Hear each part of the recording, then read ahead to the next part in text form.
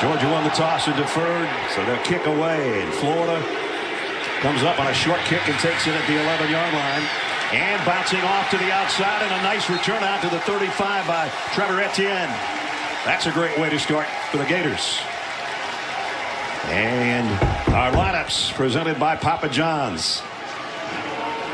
Graham Mertz out of Overland Park, Kansas, by way of Wisconsin. In the last couple of weeks, as Gary said, maybe nobody hotter in the country. 76% completion overall on the season. 71% the last two weeks. No interceptions, maybe more importantly. Top percentage of completions in the SEC. Carson Beck is number two. So he'll line his troops up at the 34-yard line. They love the jet sweep. That's Eugene Wilson. They call him Trey, who was in motion. Mertz, plenty of time. Fires down the middle on the run. And it is number three all the way to the 39-yard line. Trey Wilson. This is the formation that was so good and the motion that hurt Tennessee coming across and then the square in. The potential is to give it to him, throw the screen to him, or how about that? Pickup of 27, and immediately the Gators in dogland at the 39-yard line. Everyone wondering for Gator fans, would we see the South Carolina offense? This looks like it. Now they go to the ground and pick up about three for Montrell Johnson as Kamari Lassiter made the tackle for Georgia. Here's the rest of the offense for the Gators. They get their center back, Ricky Pearsall, coming off a career high in the last game. He's the main target for Graham Mertz, although Mertz hit Eugene Wilson the third on that opener. Montrell Johnson along with Trevor Etienne, the two top backs for the Gators in the pistol set play action. Mertz wants to throw it to Johnson, and he's taken down. Well, not quite. I thought he was going to be taken down by Chaz Chambliss, but he got away. He did, but still held him to no gain. The Georgia defense. You know, Florida loves the screen pass. Actually, both these teams love the screen pass, and Georgia was ready for it. Yep, didn't touch, did he? Just his Nope. hand. Now let's see if that Georgia offensive line can stand up to this pass rush. Florida, one of the worst third down conversion teams in the country.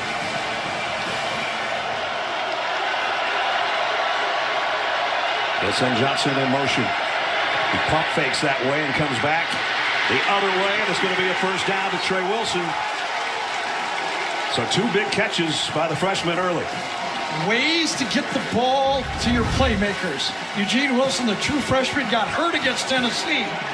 Coming back, but you see, when we talked to Billy Napier, I said, who's it remind you of? He goes, Steve Smith. Yeah. Really big and strong in his thighs, powerful player. We knew he would be a great one for us, even as a true freshman. He said he thought it was the number one guy when their signing class was announced, and he has not disappointed. At the 29, first and 10, Florida. Maybe three for Montrell Johnson against the Georgia defense that, again, is number one in the SEC in basically every category. Kamari Lassiter playing as, at an All-American level on the corner. They're going to be busy, apparently, Florida's going to keep slinging it around like this. Etienne now comes in to the backfield behind Mertz. As you look behind them in the pistol set, second down and seven. More spread formations again. They showed it last week against South, well, oh, two weeks ago against South Carolina. Here's a slip screen to the outside. Georgia waiting for that one. Wilson, no gain. So we've been watching this Georgia defense for a few years now, and they've been on top of the league because of this. They pursue great athletes. We're talking about those great signing classes. A lot of big players left, but they got a lot of them left on this team. No doubt. So another third down. They picked up the last one on third and nine. This is third and six. Third down defense for Georgia. Best around. Slant. There's a first down. Wilson is going to score. Touchdown, Florida.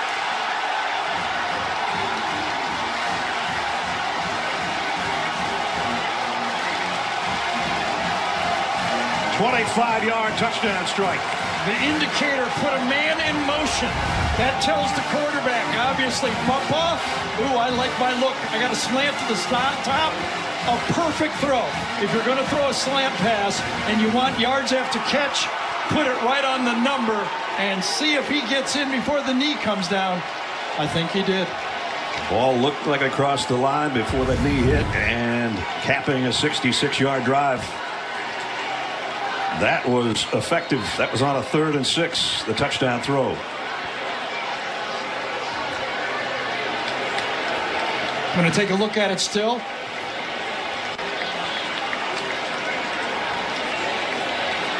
Under review. Where's that football right when that knee comes down? Right now, Tyke Smith still got his hands under his knees, I, I think, think. so, yes. And it's not his forearm, it's just pushing forward. It's going to be close, but I think he got it. Gene Steratore is with us. An early call, Gene.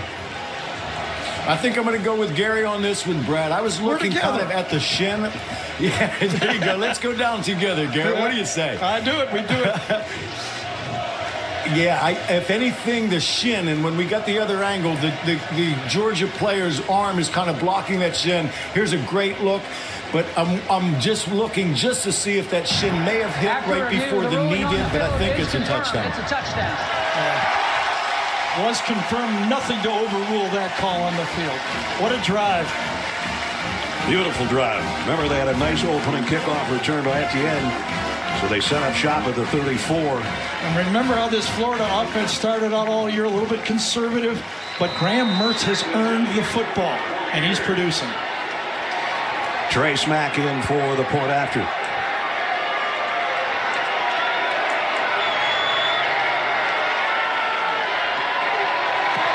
An early shocker against the number one defense in the conference. Eugene Wilson, Trey, at four catches for 62 yards on the drive. Mertz was perfect, and the Gators up early by seven. It's the first time Florida has scored first against Georgia since 2015, and that was pre-Kirby Smart.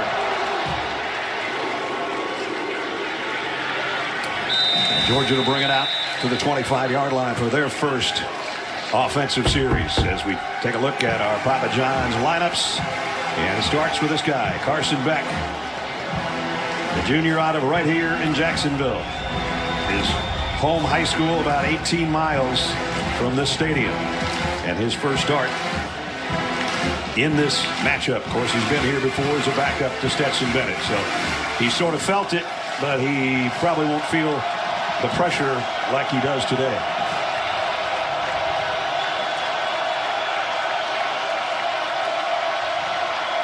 First down from the 25.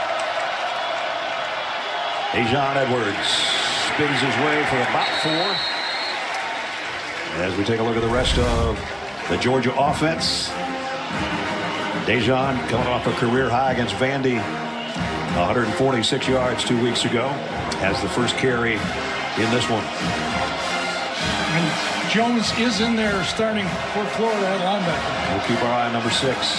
He's hopping around there trying to get his troops in the right spot. So apparently his knee's going to be okay so far. Second down and six.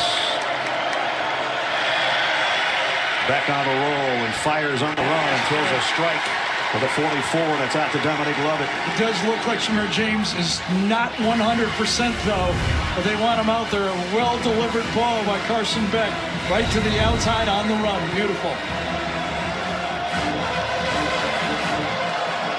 First down from the 44. Bobbled it a little bit. He hold on to it?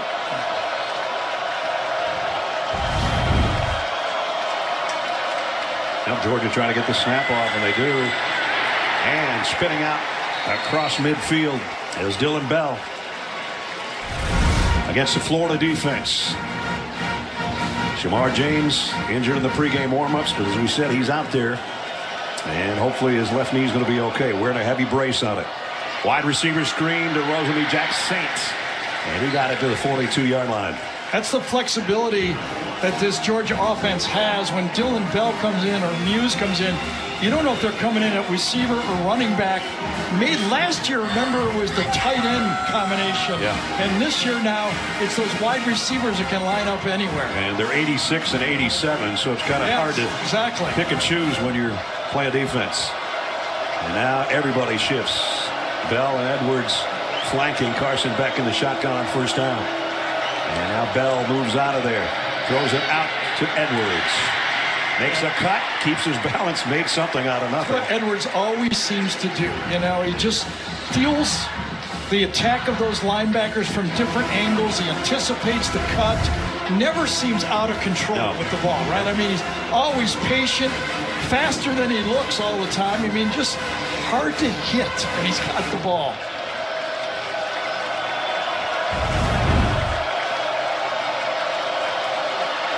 It just outside the Gators 40-yard line. Second down and eight. Play action. Beck comes up firing on the sideline. Oscar Delp. And there's the replacement. Well, you can't replace Brock Bowers. Well, he just did. That was a Brock Bowers catch right there. He's built just like him, too. Well, and that's exactly how Brock would have caught this one. One hand layup, and we've seen it all year. And that's the way to make everybody feel good about the tight end position early. 18-yard one-handed grab to the 22.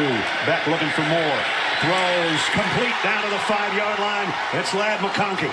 How about these two quarterbacks starting off this game, okay?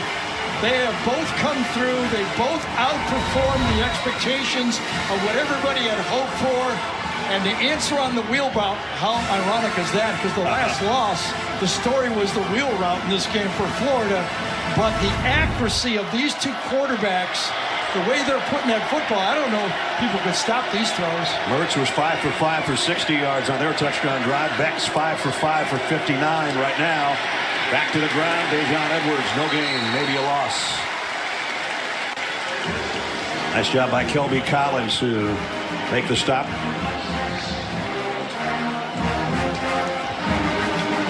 Second down to go. Halfway through the first quarter, an exciting one in both directions. Georgia's had a little issue scoring touchdowns in the red zone. They're looking for one here to tie things up. Kendall Milton checks in to the Dogs backfield for the first time. He'll get the carry. Goes for a couple. Got it down around the three where it's third and goal. ran right at number one, Princely Umanmielen, and he made the tackle. You know, that's been the challenge for Princely. He's been good rushing the passer, but George is going to run right at him. And that time he made a good stop. Gators change up some defensive personnel. Georgia likewise on offense. Second in the country third down conversions are the Bulldogs. They'd love a third and goal conversion here. Beck fires high and nobody home. Rosemy-Jacksaint was the only guy that could have got a hand on it and he said, Carson, you got to bring it down. I'm only 6'2". I'm pretty sure Kirby will go field goal here. Doesn't want to get the other team feeling too good about himself. Good stand by this Florida defense. Nowhere really to go with the football. You got to take three here. I agree with this. And that means Peyton Woodring, the freshman kicker, 12 out of 15 on the year. Started a little shaky early in the season, and since has an eight-kick um, success streak. This would be a 22-yard attempt out of a Carson Beck hole. Woodring from 22 splits the uprights. But Georgia goes the length of the field, much like Florida did, but had to settle for three. But so far, we've seen trying to replace Brock Bowers some different people, including Oscar Delp. Got him down close, but they had to settle for three. Halloween time, and it really doesn't matter. The costumes outside are pretty spectacular all the time. And Florida will start at the 25-yard line. And that's during that uh, break, we noticed on third down that Florida was trying to call timeout. Look at the signal right here. Florida doesn't know what the defense is. A defensive coordinator, Austin Armstrong, is running down the sideline trying to signal timeout. But there he goes. There he goes. Timeout. They don't have a defense in, and they get away with it. Armstrong, who was a quality control coach back in Athens in 2019, and now in his first year as defensive coordinator. Boy, they have improved immensely. They're about 127 yards less yardage given up a game and nine or ten points less than this time a year ago. So that's been a bright spot for Florida too this year. Mertz throws and Pearsall with a reception, but just a short gain. Brought down by Javon Bullard. Ricky Pearsall, their leading receiver. That's his 45th catch of the year.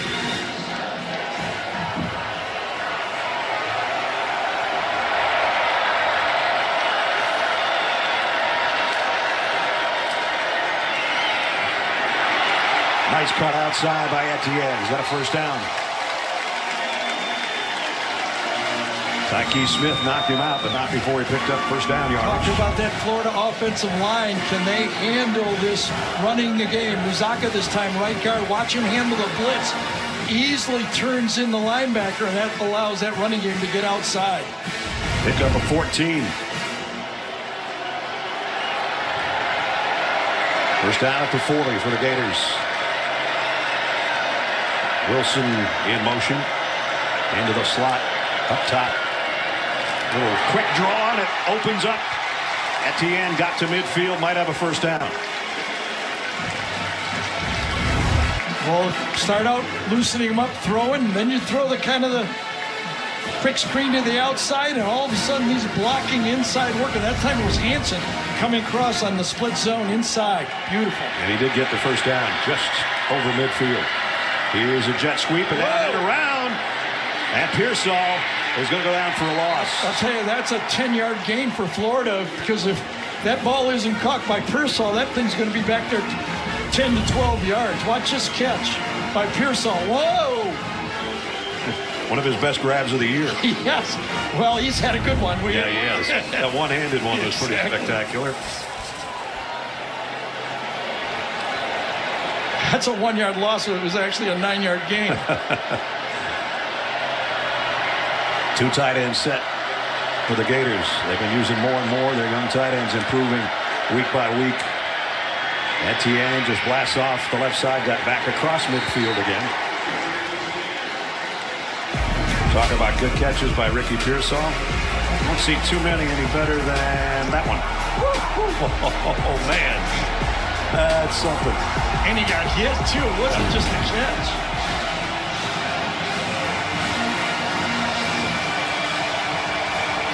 Third down long. Yeah, and they're two for two on third down so far in this game. That could be a story. And they've been terrible all year, but they picked up third and nine and third and six en route to their touchdown. This is third and 11.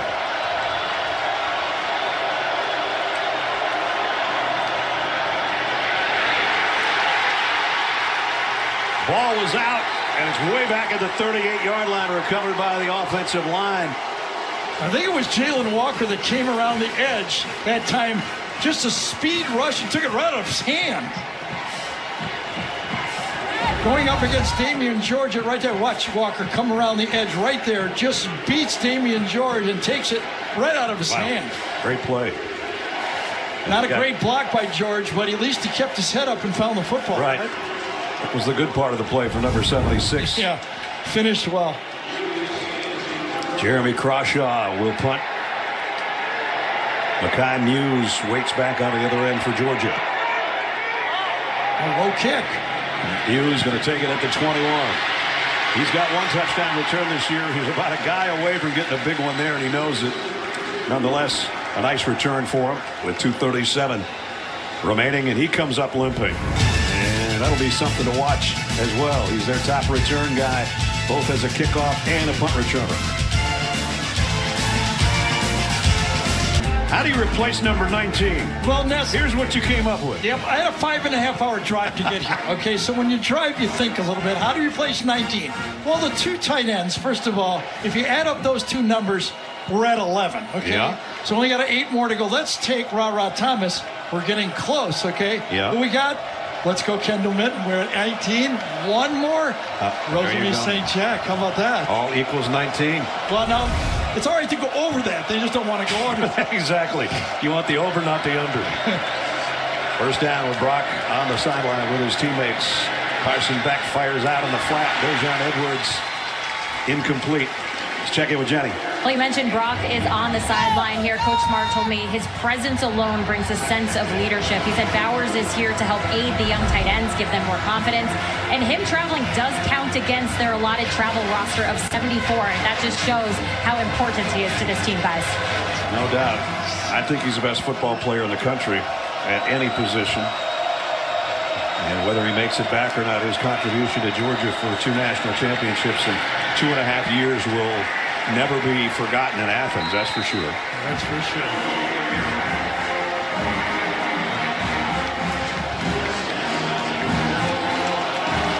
So now Georgia's got a third down. Was it thought we might see Amarius Mims, uh, offensive tackle they lost early in the year. I guess it was the Auburn game. He had tightrope surgery as well, but they gave it a try, and they're still sticking with Truss at right tackle. Kirby Smart says, I'm getting pretty good at this tightrope surgery stuff. I've Yeah. had too many of them. Third and four. Back with a blitz cutter. Zips it across the middle, complete. First down, and on the run is Ra-Ra Thomas. So there's number five chipping in, as Gary said, for number 19. Well, the that's the down. formula right there. They got a lot of good receivers, a lot of good players, and this time it's a six-man rush. And Georgia picks it up and allows Carson Beck to step in the throw. If you're going to pick up six-man rushes, you're going to complete a lot of passes. Pick up at 19 for Ra Thomas, who transferred to Georgia from Miss, Mississippi State, was their leading receiver a year ago.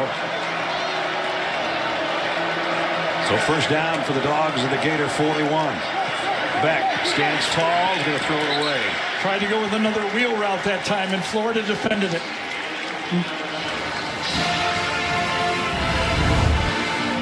Going to come right out on motion, and then watch him go up the sideline, defended well. No one to throw the ball to. Maybe could have hung in and thrown it over there, but when you're feeling that time in your head, you know, get rid of the ball, Yeah. especially on first down. Scooby Williams did a nice job staying with Delp, who was part of that double wheel route, really, over that sideline. So wisely for Beck, just toss that one away, live for another down, which was second and 10. Mews in motion. Beck, look out from behind. Got the pass away. He threw a strike. Ladd McConkey. McConkey, touchdown, Georgia. 41 yards.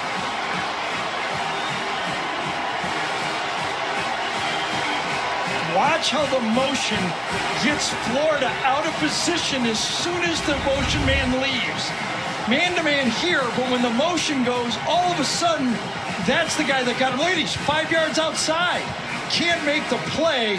Easy throw. And McConkey looks back and says, I mean, I only got to beat a linebacker with a brace on. That's all I got to do. I can do that. 41 yard touchdown catch. The first touchdown of the year Just for Ladd McConkey, who missed four games with a bad back. Just a bit of motion got Florida with the wrong outside technique, and they paid for it dearly. Woodring's extra point has given Georgia the lead. Ladd McConkey, his 100th reception as a Georgia Bulldog. I don't think he'll forget it because he looks at the Florida defense and says, forget it. Georgia in front.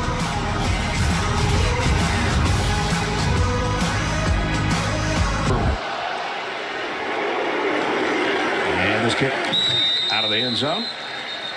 And that 2004 Mark Richt victory in this rivalry gets the thumbs up. And here comes his son David. Jumps into his arms. Coach Richt, good to see him with us yesterday. Right now, his dogs, or Kirby Smart's dogs, leading Florida 10 to 7, courtesy of a 66 yard drive in five plays. Took them only a minute and 14 seconds. And look at the quarterback comparison. Wow. Yeah. Nice start. The only thing that if you're a Gator fan, only one touch so far from Pearson. One touch for minus one yard, I believe. Montrell Johnson on the move behind Mertz. Graham sets up. Flushed flag, probably a holding call on Florida, and he throws it out. Incomplete. Let's see if the It does seem to happen all the time when that quarterback leaves the pocket. You know, those Yeah. offensive linemen are allowed to put their hands on the rushing person when they stay inside, stay inside the body. But when the quarterback runs, the offensive lineman doesn't know it, and they end up kind of latching on. I think it's going to be an offensive face mask. If the preliminary signal that I saw from Matt Loeffler. And here's the call. Personal foul, face mask on the offense, number 65. Half the distance, replay first down. Eguakun, the center that they just got back to health, is the guilty party. Missed five of the first seven games. He's right in the middle of the screen, number 65. Protection starts out being, oh, it actually happened real early in the play. His hands went up right away and then he yanked them down.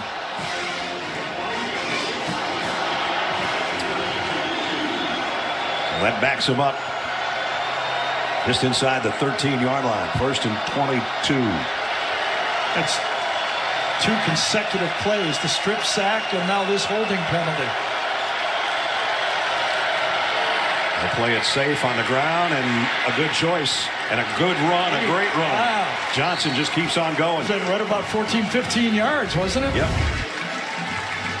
That's going to make second down a lot easier for him. They run the ball this time right at Chambliss, number 32. Good job by the right side of that offensive line. Montrell Johnson. The ground game for Florida is a lot different when they're at the swamp or when they're on the road. This Yeah. is a neutral site. You figured if they split the difference here? Yeah, 125 would be good. And they had 30, well, they got about 30 yards, so they're right on target. And that includes, by the way, the sack, the strip sack. So they're running the ball very effectively. Empty backfield. Mertz fires to the sideline, complete out to the 30 to Hayden Hansen, the tight end. They still going to bring up a third down, but a more manageable third down than it would have been without that Montrell Johnson run. When I talked to, talked to Rob Sale, he said we would really love, if we're going to get third downs, we would really love to get it inside third and five, six. When we get seven or eight, we feel the pressure here. Well, he's got what he wanted. Rob's third and five. Let's see what you got. Seems a bit longer though. It seems almost six and a half. Oh, nice. They get it anyway, I think. It's going to be really close. Kirby's right there with the official, Kahleil trying to mark it. Jackson makes the catch. Again, good throw, just slightly behind this time. Kirby's trying to make the mark right with the linesman. Here it is, right across. Was his knee down? They may look at this. Well, we got a long time to look at it. I can tell you that as we play one. Stan Murray is our replay official. Matt Loeffler is our referee who's under the hood or into the hood right now. Taking a look at this last play. Gene Steratore, our rules officials with us too. Kirby's right on the line right there, ready to make the call, you know. It's pretty funny. He makes the call short, the linesman makes the call over. The review, nothing definitive so far, right? Knees down there. I, I, I think it's really close. Where they have the ball spotted is a first down. But again, that's the very end of the play. That was on third down and six. And Gene's still with us. Gene, what do you think? Yeah, I'm, I'm with you guys. I mean, it really it's it's it's such a close play, and and I'm listening to Gary talk about how Kirby thinks he's a little bit short, but the ref might think he's a little bit long. That one didn't surprise me too much, guys. I've been in that situation before many times. Right, Gene, did the, did the linesman on that side of the field make the call? Because he was not in position. He was behind the play and didn't have the. Who made that call in this group During the timeout, there was a review. After review, the player was short of the line to gain. It'll be fourth down at the 34-yard line. Right, the, the, the trailing official was at a, a different angle. And I, I, I knew it was really close here. Now the question is it's inches. Do you go for it? How aggressive you going to be? He said the 34. If they put it on the 34, it's going to be fourth down and a yard. Well, I that- think it's going to be closer than that. Yeah, it's it's that doesn't seem to be a fair spot either. If you're going to spot it, it should be right next to that. I'm with you. Length of the football or less. At the most. That's what Billy Napier is trying to explain right now, too. If it's fourth down, you better not make it fourth and a yard. You better make it fourth and about eight inches. So the battle of Well, you know, Billy came here to fight. he's But fighting. Let's see if first, do you try to draw him offside? Think you- Maybe you can get a cheap one. Second is, do you just go sneak? Boy, I, I, See, that's two feet. I don't think that that is where the ball was. I don't- I don't think so If it's if it's short, it's closer than that. We have fourth and inches down, but that is maybe 24 inches. And they run up the line in a hurry. Yeah. Try to draw Georgia off sides, now under center. And they snap it in a wildcat. And Etienne is swarmed under by Georgia. They stop it.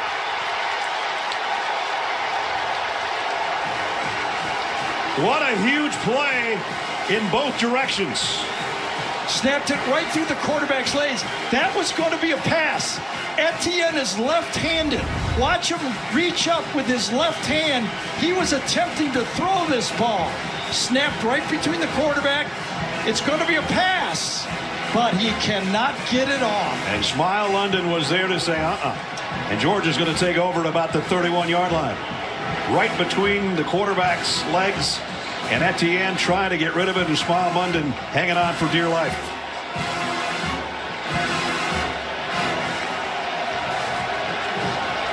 So a golden opportunity for Georgia here on offense from the Gator 31-yard line. Daijun Edwards, big hole left side. Edwards down inside the 20. Picks up 12. I wonder if this guy gets sore after games. you never get a clean hit on him, do you?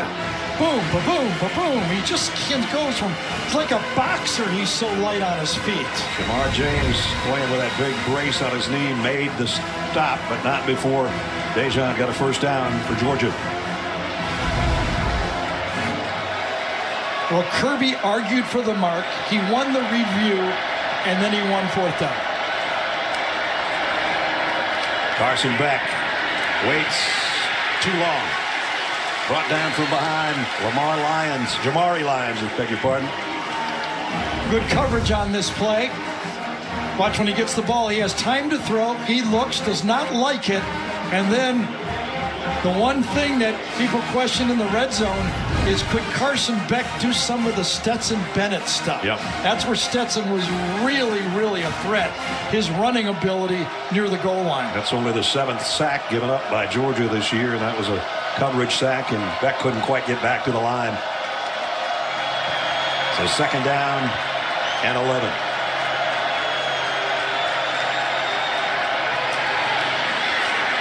Edwards to the edge. Edwards to the end zone. Touchdown, Georgia. 20 yards for Daijun Edwards.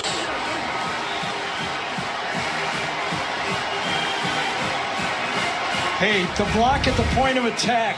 Watch it right here. Watch this block on the outside. It's Truss. Watch him turn him in. And boom, now your running back's gone. Daijun Edwards looks shifty. He looks smooth, but he's obviously faster than we think. Trots into the corner with his seventh touchdown on the ground this year. We highlighted him in our offensive alignment for Georgia that he'd be big because you win the ground game in this series, you usually win the ball game in this series. Woodring's extra point is up and good. So remember, it started with fourth down defense.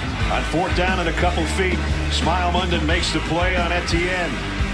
Georgia goes to work at the 31, and number 30 takes it to the corner. And it's 17 to 7, Georgia. Look at that, Daijun Edwards. Touchdown from our AT&T 5G pylon cam. There you go. 20-yard score, and Mike Bobo says that's just the way we drew it up. Georgia has scored two touchdowns in the last two minutes and 44 seconds. Remember that game Oh. a couple of years ago when they scored like 17 in the last two and a half minutes of the half, whenever that was. One's almost impossible to forget. Exactly. Let's send it back. Adam Zucker out of New York studio. Jeep update. Zook, what do you got? Well, Ness, we've got the fifth lead change of the second half in Lawrence, and after a monster fourth down conversion, Devin Neal with no resistance puts Kansas on top of number six Oklahoma with a minute to go, a five-point lead there. The Jayhawks have lost the last 18 to the Sooners, guys. Fired up, and Kansas and Oklahoma would drop from the undefeated ranks if that holds up. First three possessions, a touchdown, then a punt, then on a fourth and about two feet, Georgia stops the Gators. So let's see if they can get back to the gear they were in on their opening drive where Graham Mertz was perfect and they took the 7 0 lead. Georgia with a blitz. Mertz running out of time, going down. Back at the 15, and it's Dumas Johnson. Well, this time I think it was Smael Mondon comes in and takes out the first blocker right here. And then coming around, watch the black, the running black. Etienne does not get the block, gets just a piece of him. Running back, you got to square up on those blocks that caused the sack. That's it. Crisscross inside linebackers. I mean, George has been doing that for 25 years. Yeah. And they've been struggling for sacks or havoc plays, whatever you want to call it, but they still don't give up a lot of points. And Mertz is in a little bit of trouble again. The ball is out again, and George has got it. Marvin Jones, the linebacker. Scrambling up in the pocket, you have to have two hands on the ball. Mertz just in his right hand, carelessly in the middle of the pocket. This can happen. Comes up, just takes right out of his right hand. I think it was Ingram Dawkins, right? Number 93 that got his hand on it. Or maybe his own lineman. Let's see. There you go. You got it. Boy, takes it right out of him. He really had more than just one hand on the ball, to be fair, looking at it the second time. But as he moved up in the pocket, coming around, just one hand. And boy, those guys are good at that. If you go to practice, that's all you see them do now. Right. They come around the edge and they go for the football. I said to Kirby Smart yesterday, have you ever had a season like this where there aren't any fumbles caused? And he said, I can't put my finger on it, but sometimes they come in bunches. Well, Ingram Johnson just put his finger on it right there. No doubt. First down at the 11. Kendall Milton. And remember, a couple. Remember that stat you threw at me from 2021? They better be careful. They're going to have one just like it yep. right here. There could be an implosion here in the second quarter for Gator fans. Let's see if the Gator defense can force a field goal. It seems like it's almost mandatory here. The Gators threw the first punch, but since then. It's rat-a-tat-tat. Yep. Four wideouts. Dillon Bell was in the backfield. And that comes over in the slot, so it's an empty set. From the nine, Carson Beck, quarterback draw. Beck. Oh, ah, he went the wrong way. Well, he still got it inside the five to the three. He did. Effective play, good call. Spread it out. Good time. Watch it. Don't you don't think he should have gone left on this play right here? What if he just he stopped right there? Ooh, it just looked like if he went that way, he had it, didn't he? Oh well. We're all not great runners, you know. They're down at two. You know he's just going to kick himself when he watches that. Sure.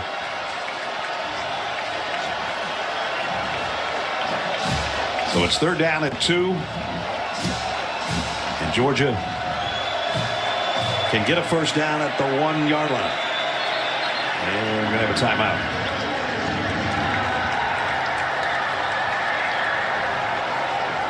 The entire offense will walk over around Coach Smart. Florida, as Gary said, through the first punch. Georgia punching back up by 10 and looking for more. Well, we had to figure out a place replace Brock Bowers. Oscar Delp with a one-handed catch.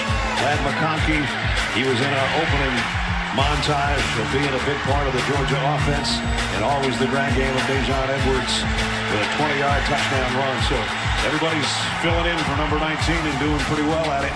And now Georgia faces a third down at two just inside the three-yard line as Brock Bowers shields the sun and decision time maybe if they don't get the first down or the touchdown for Kirby upcoming. And you knew, you know, Kirby and Mike Bobo were discussing the two play calls if they don't get it on this one. Luckie and Delp, two tight ends. The pitch.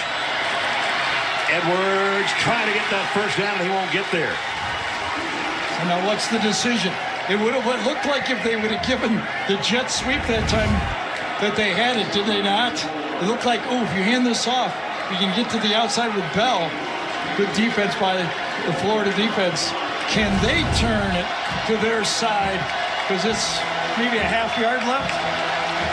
Kirby has decided to go for it. It's not two yards. No. They don't go on fourth down very often. They're going here. Daijun Edwards, touchdown, Georgia walking in. Didn't get it the first time. He got it that time. Well, give it to that inside that offensive line. Sedrick Van Pran, Tate Ratledge. They ran right over the veterans that time. And he kind of tiptoes, tiptoes. Oscar Delp gets a great block on that play, pushing his end man right past it. Delp coming through with the one-handed catch and now with the block. Extra point coming up.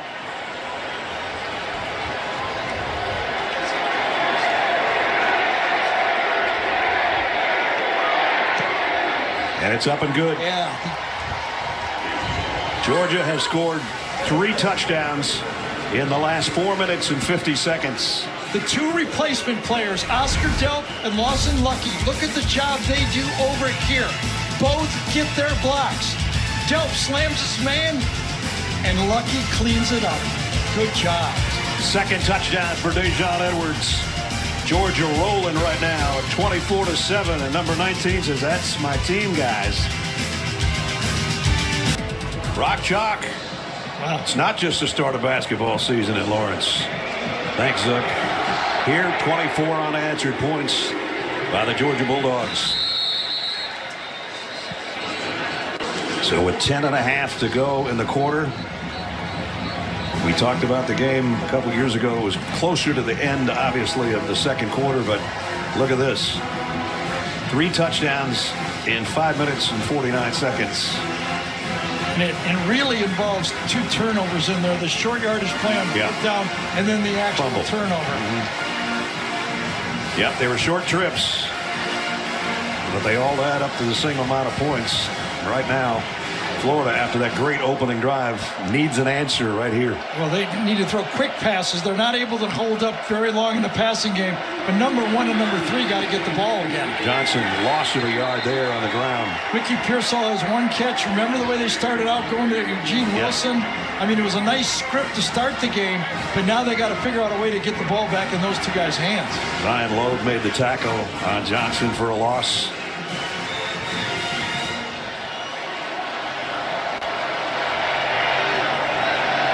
And they give it back to him at the line of scrimmage. So second down and 10.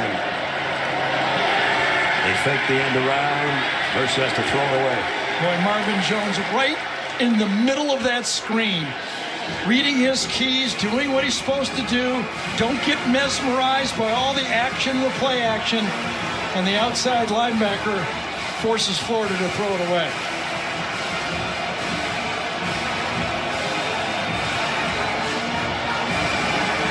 The turnover on downs led to the rushing touchdown by Daijun Edwards. Four plays later, another score for Daijun from the two. Now it's third and 10 for a team that has a trouble with third down conversions and Mertz in trouble again and he's going down again. And it was holding on the play as well as Austin Barber, the left tackle, the guy who spoke that Georgia has to go through us. Well, they just did. Mykel Williams went through everybody. Holding Well- on the offense, number 58. That penalty, but it will be declined. Fourth down. Austin Barber against Mike Hill. Well, look at him hold him, and he still helps, at least gets half the sack on the Yep. play from the outside. Gave him a little bulletin board material, all right? you know, we play SEC ball like they do. I think we got some guys. 24 0 is great, but they got to come play us. Well, they are doing so. And speaking of 24, it's 24 to 7. And they've got a punt. Mekhi Mews is back for Georgia after kind of twisting his leg on his last punt return. He waits back inside his own 40. And they got it with a block punt. And did he pick it up in time? No, I think it landed out of the field for a safety. Safety. Yes, and then bounced back in. Oh, Joenel Aguero, I think. It was. That's who I thought I had. Everything going haywire for the Gators and everything going right for Georgia. Took out the snap. Good. One step. Beautiful job of laying it out. Yep, that's who it was, Aguero. And it bounces into the white, and I think it come. I think it came back in. That's what I saw the first time. I lost it in the Yep, shadows, I to be honest. pretty sure either way they didn't corral it. It's going to be two points. right, it went right behind the pylon.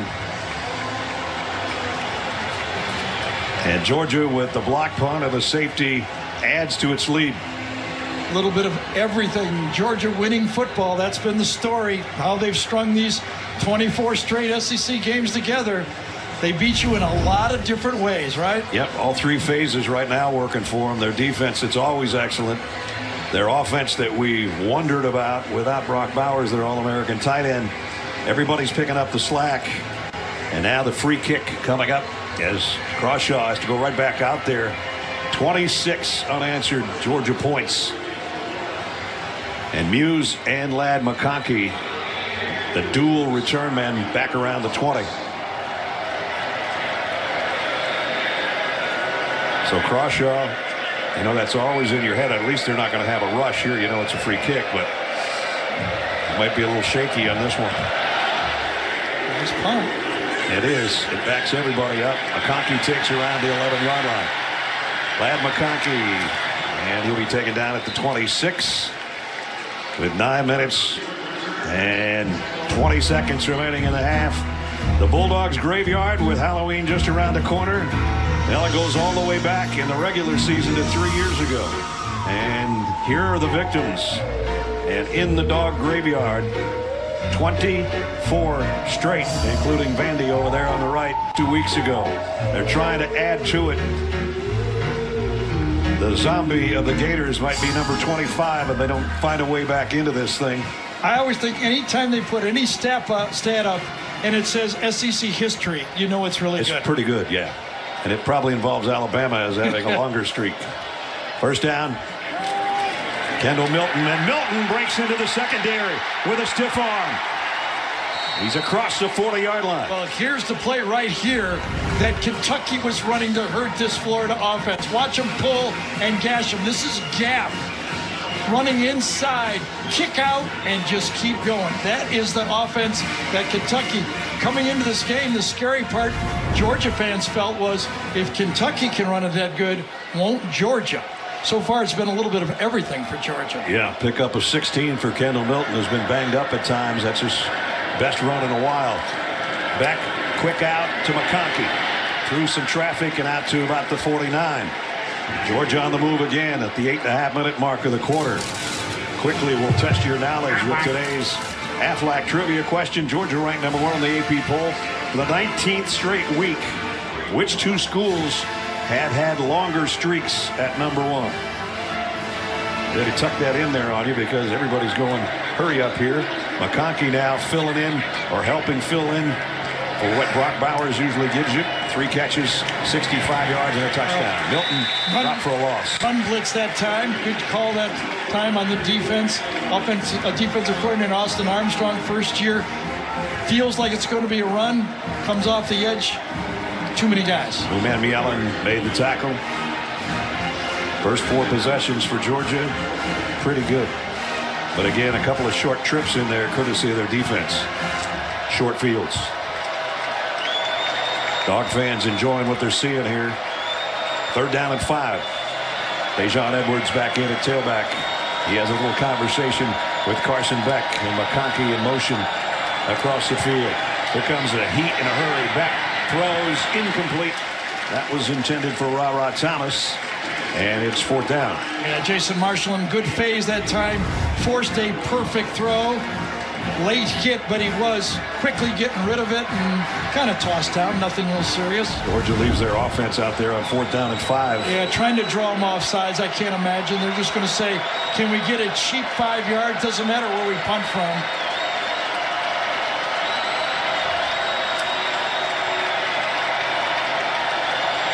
Beck just keeps his eyes on the sideline as the play clock goes down under five.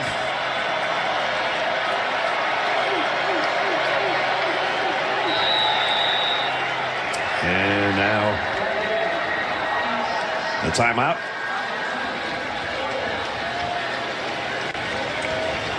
I don't think they took Nope, a timeout. I guess No, not. They just Took the flag. just take a five-yard penalty again. Where they punt from is really meaningless. Kirby's telling Carson Beck, says, we don't want to get greedy. Beck, the Jacksonville natives going, let's keep going. It's going pretty good. The midway point of the second quarter. Brett Thorson will make his first appearance. Well, if Florida wants to make this a football game, this is the time when they get the ball. They need to put some points on the board.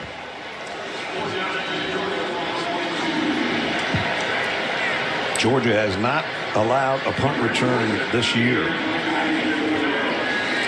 Orson will try to keep that intact. And they will as it bounces inside the 20, goes out around the 18 yard line. With 7-17. Georgia spotted the Gators seven. And in every phase, they've been humming ever being number one. It's a lot of number one. First down for the Gators. And it's Mark, uh, Trevor Etienne, rather, a pickup of a couple. So what do you do if you're Florida? I mean, you got a quarterback who's hot, but your two tackles are struggling. Yeah. Two strip sacks from the left side, a sack on the last play from the right side. I mean, they're coming at you from both angles. You know, when those edge rushers are getting and beating your tackles one on one, now you got to give them help, and then you don't send guys out. I mean, it's hard to get guys open. What do you do if you're Florida? You're Graham Mertz, you got to get it out quick, that's for sure. Georgia had had trouble sacking the quarterback, not today. Mertz going to go deep. Nobody home out there as it lands at the 40 yard line. Ricky Pearsall, and it looked like he was sort of directing like Ricky, just keep going, keep going. Second quarter is just blown up on Florida. Yeah, you remember that play at the end of the first quarter? Started at the second quarter. They tried to do the short yardage pass, didn't work, and then all been uphill since then, right? Yeah. What, what would it be down here? I'm not sure. Either way, it's not going. Georgia scored 26 straight points. I know that part. Yep. Third down and eight.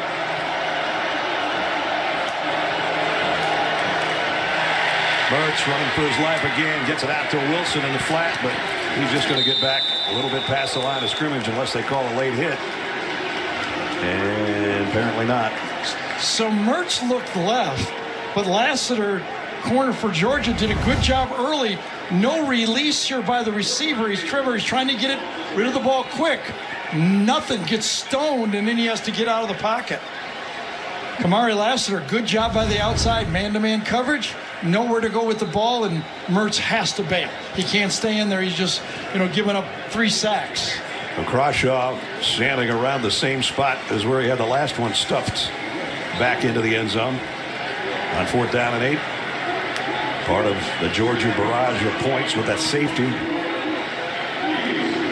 Let's see if they switch it up and put the return on this time.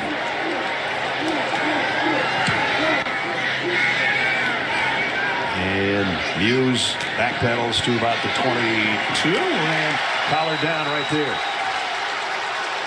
Yeah, I Nice don't, job. I don't think that's a horse collar. No, I didn't mean to say it that way. I, I understand, It's but I, he, part of his collar. he got him. He was in front of him. Uh, Yeah, close. what do you do on that? I mean, it is that. You can see that the Georgia bench feels the horse collar. You do wonder now if you watch it the second time, if he doesn't grab him, he's past him.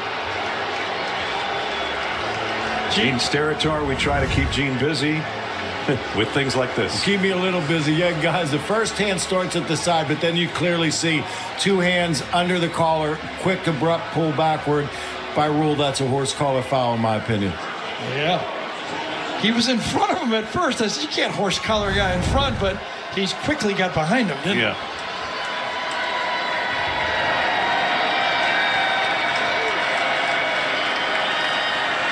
Georgia starting at the 20-yard line. Daijun Edwards just keeps on rolling for 10 or 11 more on a first down.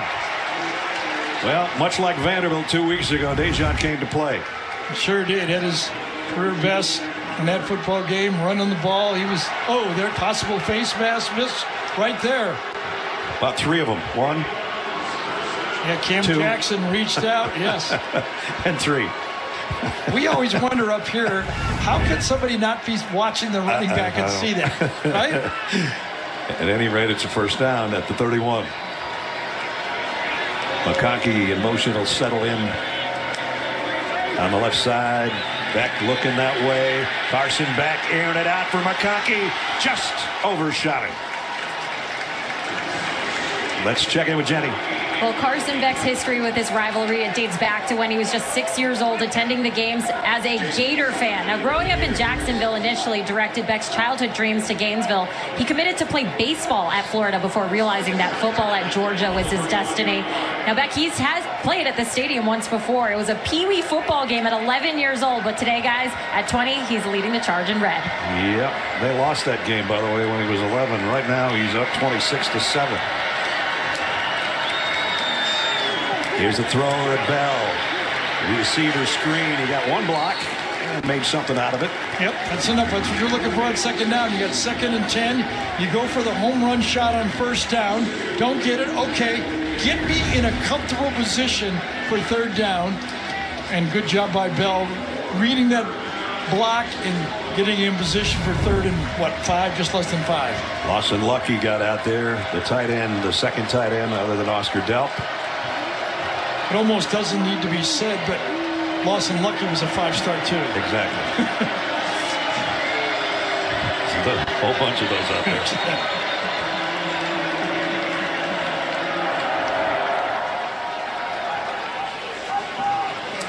And Florida takes a timeout with 4.14 remaining first half. All Georgia right now. Falcon Trophy against Colorado State. Here on the banks of the St. John's, Georgia 26 to 7 lead with a third down and six upcoming. Carson Beck throws.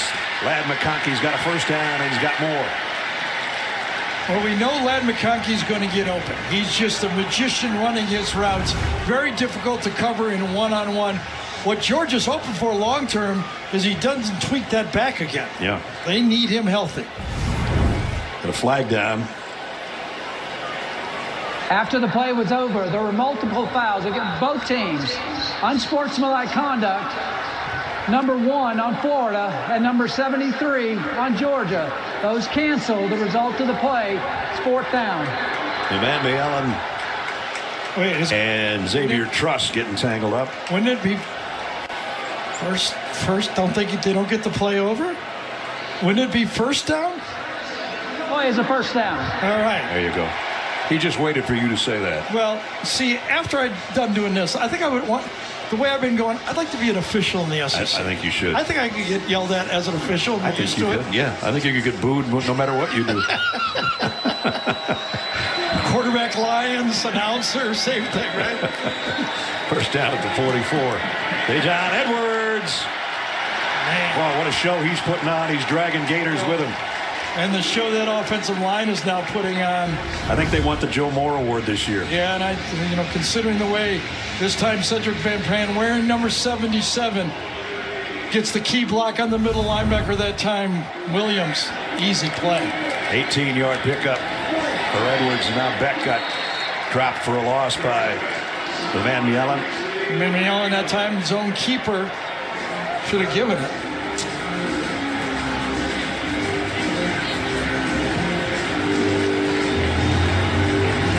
Confident Georgia team.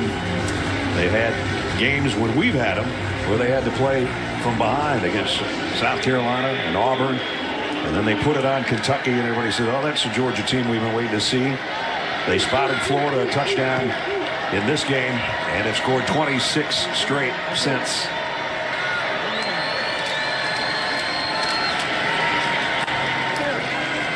And remaining undefeated teams. We mentioned Air Force playing tonight. Georgia And we did have one team fall, Oklahoma, taken out by Kansas in Lawrence, as Zook told you a couple of minutes ago. No more on that coming up on the Geico halftime report. We're not even in November yet. A lot could have happened. Oh, yeah. But the schedule that everyone said for Georgia was so easy this year, or supposedly, has turned into anything but because what they've got in front of them is a Missouri team that's lost only once and is off this weekend. They still have Tennessee left. Right now they're handling business against Florida. Beck going deep, just off the fingertips of Dominic Lovett. Dominic Lovett did a nice adjustment to the ball here. He was covered, but he read it well. Watch him read the ball and kind of stops and jumps in front of the defender. Would have made a really nice play. Instead of keep running, you got to judge it quickly. He makes the judgment. Could have made the play. That would have been a nice one. Yep. Bryce Thornton was back there in coverage. Lovett came in with 31 catches, has one today. They don't gain any yards here, it'd be about a 53-yard field goal. I don't know Oh, if fourth down. What are they doing? That. Are they going to go for it? No. They're going to try to draw them off. They still got timeouts. Yeah, they'll use it this time. And they take one of the two with 159 remaining. So a couple opportunities where they came up to a fourth down situation, gave it the look that they were thinking about it. And maybe they just took the flag, not the timeout again. I, I thought Kirby took the timeout. I thought so too. Delay game Guess flag. not. Maybe he was late. Maybe he just wants to punt it. Doesn't want to get it one block late. So that'll bring out Thorson again. And his job would be to drop one in around the 10 yard line and not let Rick, Ricky Pearsall get loose. Pearsall averaging about eight yards a return, his longest this year, 21. Mews was late to the party, and now Georgia's got their punt team ready.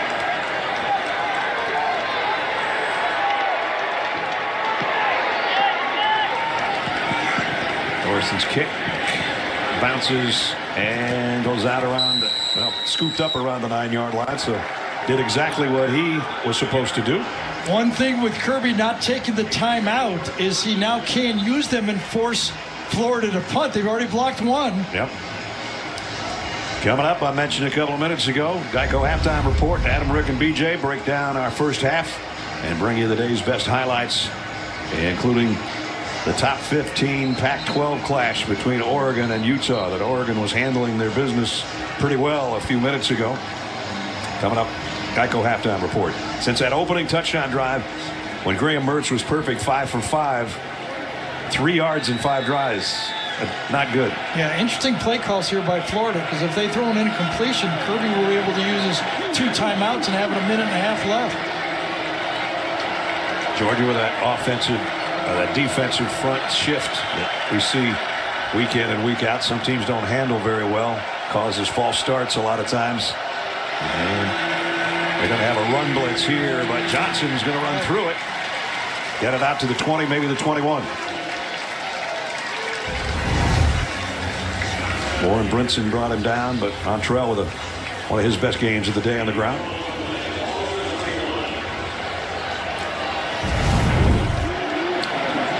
Clock moving at 135. Send Boardingham, the tight end in motion. Mertz, deep middle, got it! Down to the 15 of Pearsall. Well, they had plenty of time to throw. Pearsall comes across the formation, kind of a constricted formation, bunch, good protection. Here it is. Pearsall goes clean across the field. Good coverage.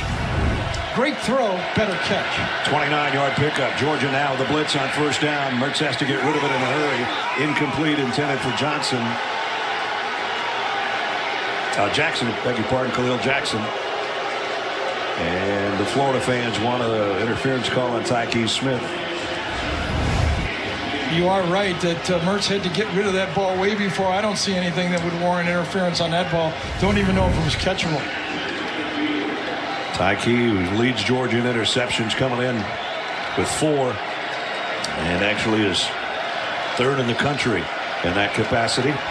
Georgia has their blitz team in. Jalon Walker in the game. Second and 10. Mertz has to step up in the pocket and throw short and incomplete. It was Jalon Walker coming around that time, the outside. Again, both tackles having problems handling that speed rush from Georgia.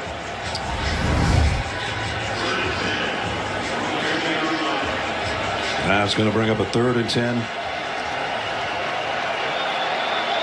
with just over a minute to go.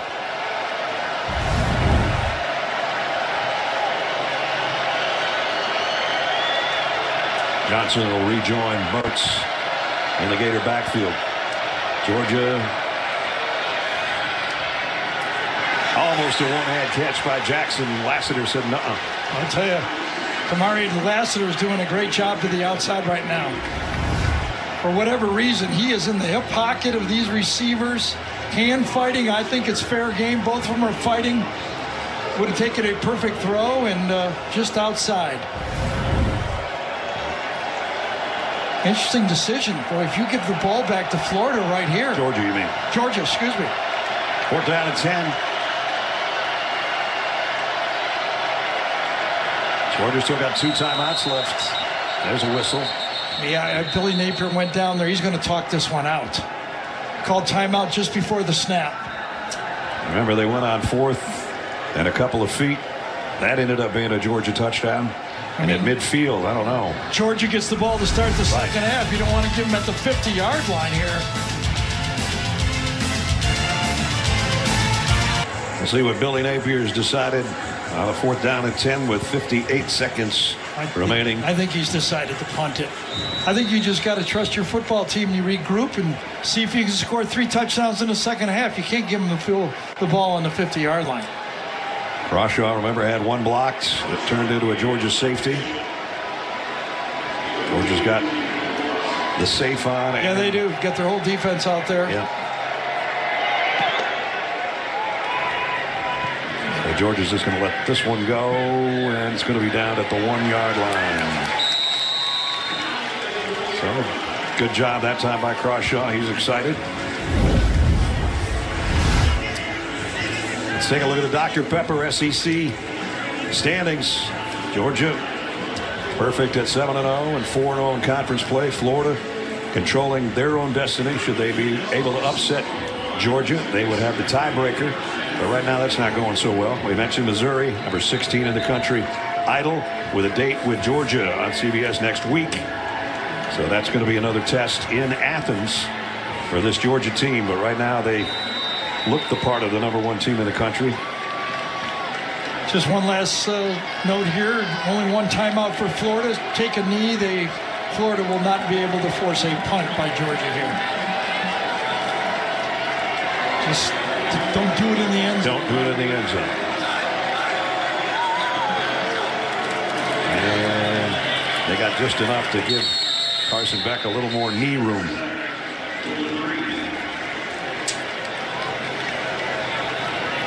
So Georgia will have a more comfortable snap upcoming, and then we'll head it to the locker room where Florida looks to regroup. Georgia looks to keep just doing what they're doing so far. What looks so promising for Florida, you know, first quarter they had plus 30 yards rushing, you know, and all of a sudden you look up there, four sacks, and they got a combined 22 yards, including the sacks rushing now. That offensive line, that was the question mark, right? Yeah. And it's become a question mark. The sacks, Georgia's offensive line on the other hand, Yep. making holes for Daijun Edwards, giving time to Carson Beck. And the first half of this rivalry comes to a close as Georgia scored 26 points straight after giving up the opening touchdown march to the Gators. And Georgia will get the football first to start the third quarter as well. And Kirby Smarts with Jenny Dell. Oh, thing or two about a good defense, and right now yours is clicking on all cylinders. What can their performance do for this team? Well, we got a whole half to play. So they got a very potent offense, a lot of dangerous shots. We got to control the run game a little better, and we got to take the ball on offense and control the game, kind of the tempo there. I just saw you talking to Truss over there. Can you share what you were saying? Yeah, we got a mission, and then we got a team, and then we got me. The mission over team over me. And he put himself before the mission and the team. Thank you, Coach. Thank you.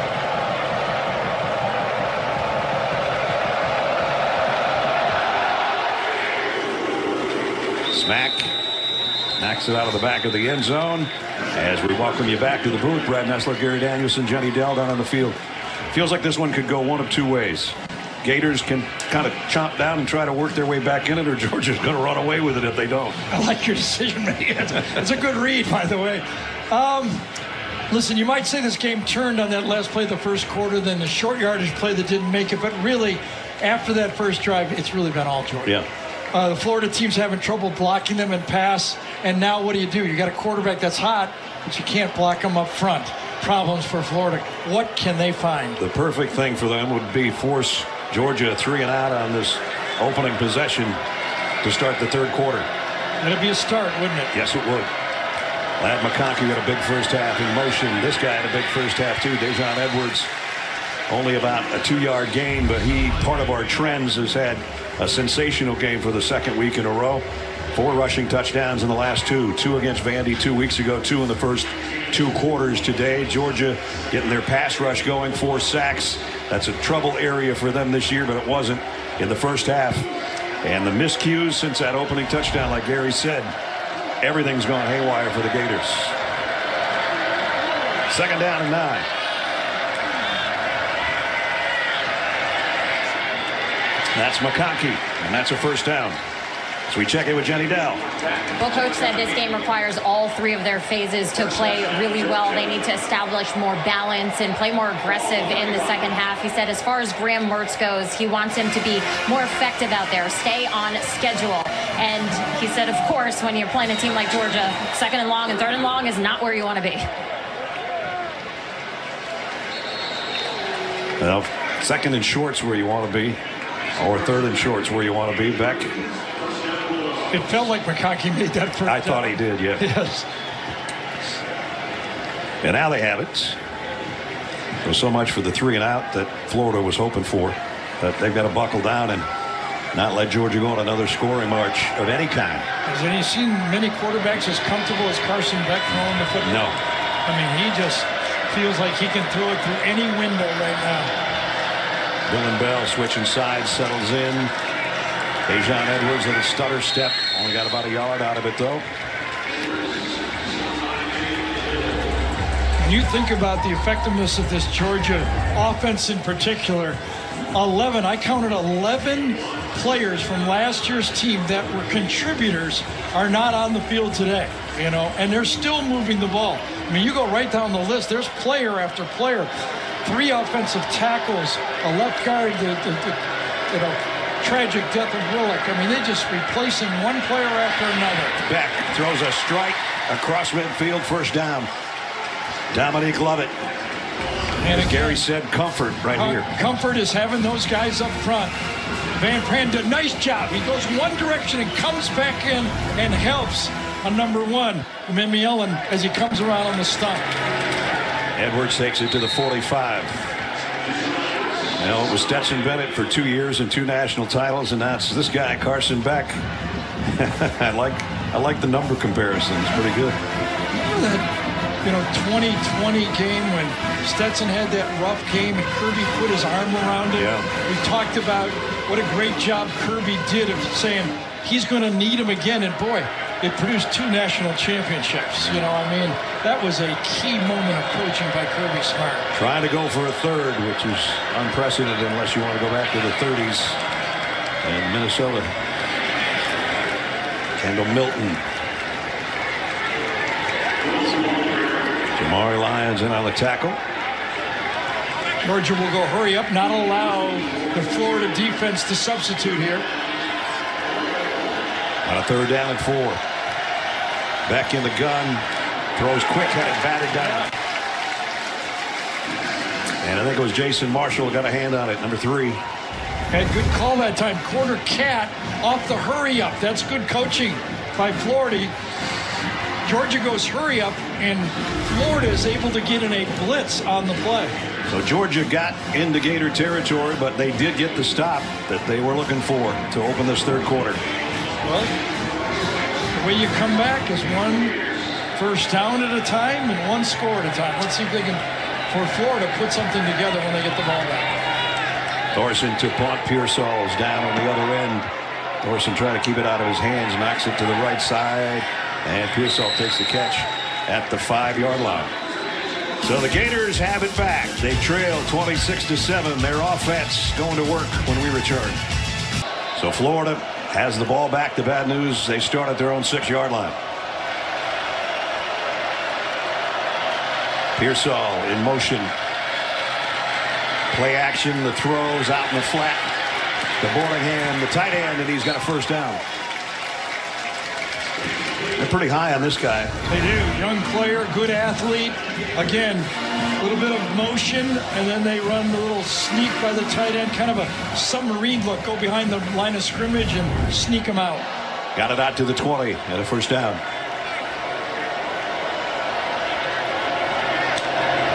Georgia thinking about a blitz on the inside. Montrell Johnson runs right into Chambliss. That's their run blitz. They do so well. The first linebacker comes across and blocks on the inside of the lineman.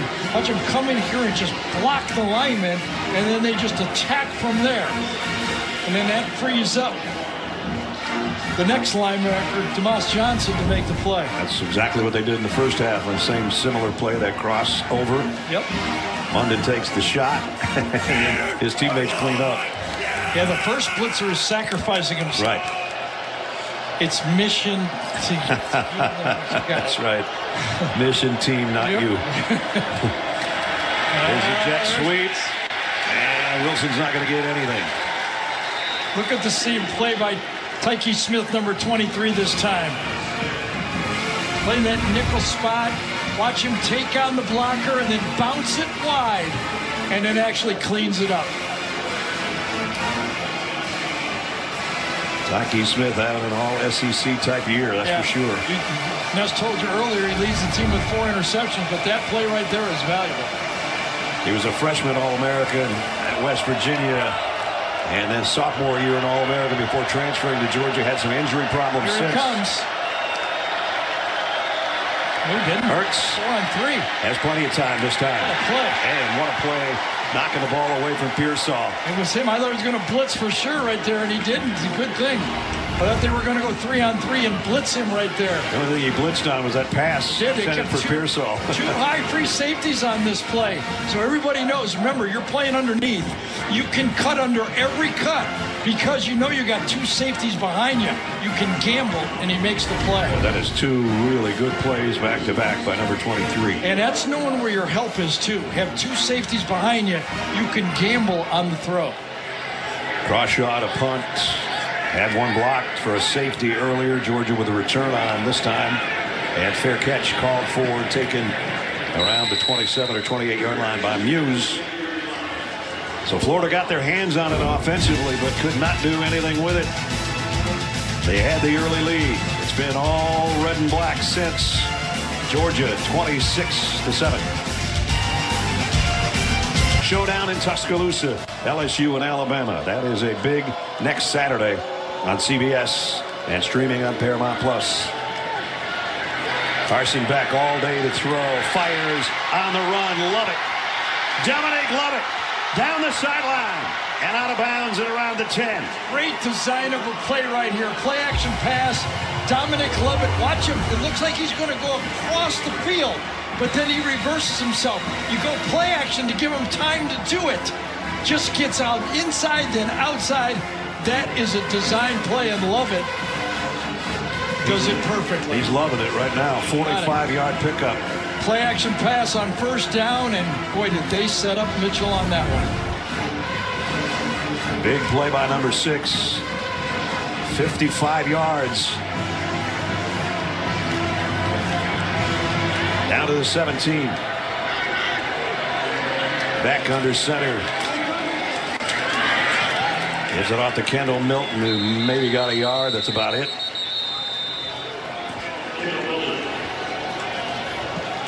Jack Pyburn was the first guy there to stand him up. We talked to Kirby earlier when we covered him. He said, you know, Dominic and Ra Ra Thomas are still learning our system. Yeah. Second half of the season, we expect a lot more from them, and they are producing. Kirby Smart in his eighth year, two national titles, looking for win number 89 against just 15 losses over that eight-year span, seven and a half year span. Daijun Edwards hit from behind, but still falls forward. And the schedules upcoming for these teams that all control their own destiny. Florida's got to make up some ground fast. Arkansas, LSU, Mizzou. Mizzou, Georgia next week. And then Georgia finishes Ole Miss and Tennessee. Yeah, they they don't they cannot clinch next week. It would be even if they win, they would clinch the East against Ole Miss. If they That, win one- today. that one's in Athens. Carson Beck. The street to the corner, knocked away, incomplete, intended for Ra Ra Thomas. Third down play. Ra Thomas does a nice job. He's not going to get the ball. Jason Marshall with great coverage. So what does he do? He makes sure that no one else does. Reaches it out there, tries to get it with one hand, but Marshall in perfect pace. Hey, that was closer than it looks. Really nice play on the ball by both guys. And that'll bring out Peyton Woodring. He hit earlier from 22. This one will be from 32. The freshman out of a Carson Beck hole. And he's got it up and good. So the big play on that one, a 55-yard pass and run by Lovett. They settle for three more and are up 29-7. Wait back at the goal line. And they'll not be able to touch this one. Now it's time for our reliable connection presented by T-Mobile 5G home internet. Here's Jenny Dell. Over at number 22 holds a deep significance to Kahleil Jackson. Wearing that number before him, his grandfather, Willie Jackson Sr., his father, Willie Jr., and his uncle, Terry Jackson. The family, it has such a rich history with the program. Willie Jackson Sr. was the first African-American scholarship football player at Florida. And guys, he has a special vantage point here today. He's working security on the field here at Everbank Stadium. You know he's loving seeing his grandson not only play for his team, but also rep his jersey. Absolutely. Kahleil's got a catch today. He started off as a quarterback here and moved to wide receiver to get more playing time because he's a very good athlete as his grandpa and dad and uncle all were. Georgia knocks that pass down. Come on, Dumas Johnson. His same play, crisscrossing the linebackers. One linebacker blocks. The next one comes around, cleans it up. Just a bit late by Leonard. Did not bump off in time, and Graham Mertz is going. I saw this early against Utah, but I'm starting to get nightmares about Could, this. could you please keep number 10 off? Yes, that one play that one guy blocks, the other guy makes the play. Here's Etienne in the open field. His best run. Out across the 40 to the 42. I thought Warren Brinson had a chance here, but once he did not make the tackle, number 97, I think that's him right there. Watch him come in, swipe, but not even close. 17-yard pickup for Trevor, whose brother brother plays on this very same field for the Jaguars. And now it's a flea flicker. Mertz has to throw quick, but got it to Pearsall. And it's another Gator first down. Got a little something going here offensively. What a nice job by Graham Mertz here. How fast. He knows he's under pressure. As soon as he gets the ball, he goes, I got to get rid of this thing. I don't even know if he had the laces on that throw. He got it and got rid of it all almost in one motion. 26 yards to his best friend on the team, Ricky Pearsall. Those two hit it off immediately when Mertz got here as a transfer from Wisconsin. First down at the 32. Here's a slant. That's another good looking play. That's what they had going earlier to Eugene Wilson. He really is a good looking player, isn't he? I mean, just comes in, plucks the ball out, seems to be in control on this slant pass, the slant pass again. Ball slightly behind, but he just reaches back and snags it. You hear us say Eugene sometimes, Trey sometimes. It's Eugene Wilson the third. Most of the guys on the team call him Trey. Etienne stays in there. behind Mertz as the Gators have worked it down to the 25-yard line. Oh, And the first that's a time false all start. day. Yep. The shift got it to Hayden Hansen. False start. Offense, number 89. Five-yard penalty. Second down. They'd only had two penalties before that. Talked to offensive coordinator Rob Sale about this, and he said, We have worked really hard on this. We don't think we'll move, but you know, when you're up there and those big guys are triggered, sometimes they just move. Georgia gets everybody with that. They do. At the five-minute mark, Florida trying to cut into the Georgia lead. At the 30-yard line. Little delayed give. Etienne Nice trying to bounce it outside. But that's the speed of the Georgia defense. And Tyke Smith who's having another great game Really defensively. God. They are so disciplined, but he does know that he's got the speed of those guys coming from the inside, so he can play outside shoulder exactly the way he should. He doesn't have to gamble for that inside leg. He knows he's got help coming. No way. Etienne had nowhere to go but one way, the outside, because all the pursuit was coming from the inside. C.J. Allen, a true freshman linebacker, is the guy that sort of spit that outside, and that just shows you where Georgia keeps rotating guys defensively year in and year out and game in and game out. Clock running down a bit, as you see. Play clock. And We're going to have to hustle. Did they get it away? They did. I guess.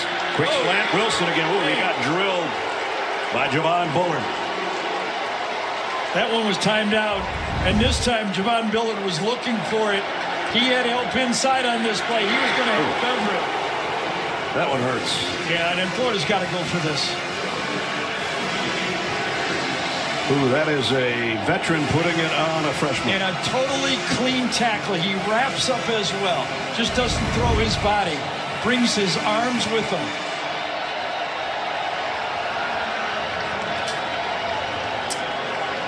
Tyke Smith shaken up for Georgia. So we've got a break here with 3.37 remaining third quarter and a fourth down upcoming.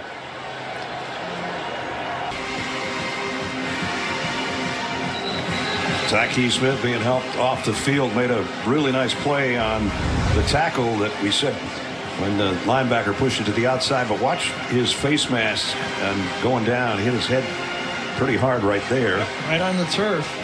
And then when he got up, getting in position for the next play, he took a knee, and they spent most of that I, I actually looking at it, I actually think he played the next play and then did that. and then did that. Yeah. Yes.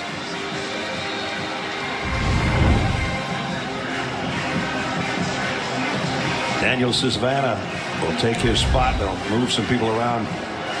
Just talking about Tyke having an unbelievable season. Well, you got to give the ball to Graham Mertzer and see if he can throw a short pass. I mean, that's your best option. Fourth down. Wilson and Pearsall are to the left. Fourth down and three. Low snap. Mertz handles it. Goes out in the flat. Nope.